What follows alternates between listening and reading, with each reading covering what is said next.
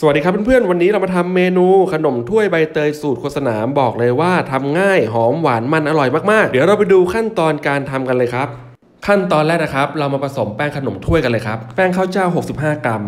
แป้งเท้ายาม่อม 2 ช้อนโต๊ะ หากเพื่อนๆไม่มีแป้งเท้ายาม่อมก็สามารถใช้เป็นแป้งมันแทนได้นะครับ น้ำตาลมะพร้าว 130 กรัม และตามด้วยหัวกะทิ 200 ml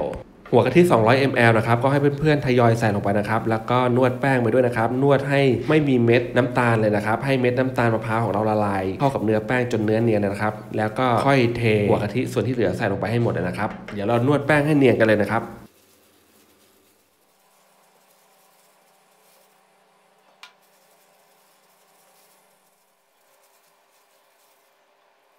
และตามด้วยน้ำใบเตยคั้นสด 200 ml แล้วก็ให้เราคนให้เข้ากันนะครับ เสร็จแล้วก็นำไปกรองให้เนื้อเขาเนียนยิ่งขึ้นไปนะครับ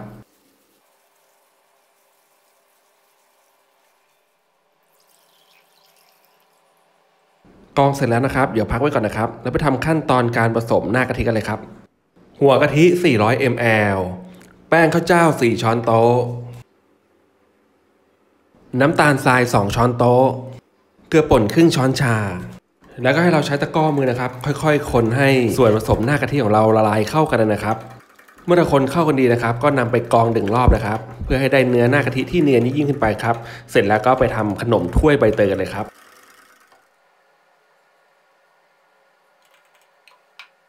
แล้วก็ตั้งน้ำของเราจนเดือดพล่านนะครับขั้นตอนนี้นะครับให้เรานึ่งถ้วยตะไลของเรา 5 นาทีนะครับนึ่งถ้วยขนมก็เพื่อให้ถ้วยเขาร้อนนะครับ เวลาเราแซะขนมออกจากถ้วย ขนมเขาจะออกได้ง่ายนะครับ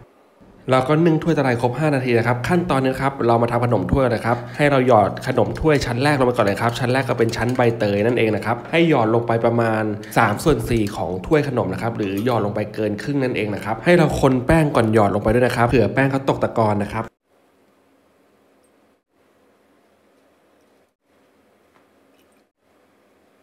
เราก็หยอดขนมถ้วยใบเตยชั้นแรกเสร็จแล้วนะครับ ขั้นตอนนี้นะครับเราจะนึ่งขนมถ้วยของเราอยู่ที่ 10 นาทีนะครับก่อนปิดฝาทุกครั้งนะครับให้เราเช็ดไอ้น้ำออกจากฝาด้วยนะครับเพื่อนๆนึ่งด้วยไฟกลางนะครับ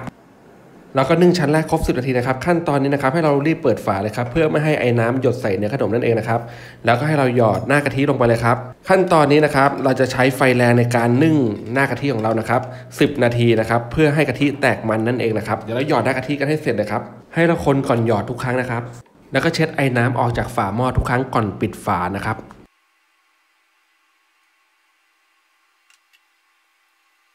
เราก็นึ่งขนมถ้วยของเราเสร็จเป็นที่เรียบร้อยนะครับ ใช้เวลานึ่งอยู่ 2 รอบก็รวมกันแล้ว 20 นาทีนะครับเพื่อนๆเดี๋ยวเราลงจานจัดเสิร์ฟกันเลยนะครับ นี่ก็เป็นบางส่วนนะครับ เราจะพักขนมถ้วยของเราให้เย็นเซ็ตตัวนะครับ ก่อนที่เราจะแซะเขาออกมารับประทานนะครับเขาจะได้ร่อนออกจากถ้วยออกมาแบบสวยงามนะครับ ก็เสร็จแล้วนะครับเมนูขนมถ้วยใบเตยสูตรโฆษณานะครับสีสันสวยงามหน้าตาน่ารับทานมากเลยนะครับรสชาติขนมถ้วยของเรานะครับก็จะมีความหอมหวานมันอร่อยมากๆเลยนะครับกลมกล่อมมากๆครับสูตรนี้นะครับผมทำออกมาได้ 30-35 ถ้วยเลยนะครับเมนูนี้นะครับเพื่อนๆก็สามารถนำไปทำทานกันได้ในครอบครัวนะครับหรือจะนำสูตรโฆษณาไปทำขายสร้างอาชีพให้กับครอบครัวก็ได้นะครับ วันนี้ผมต้องขอตัวไปรับทานเมนู ขนมถ้วยใบเตยก่อนนะครับ วันนี้สวัสดีครับ สุดยอดมากครับ เมนูนี้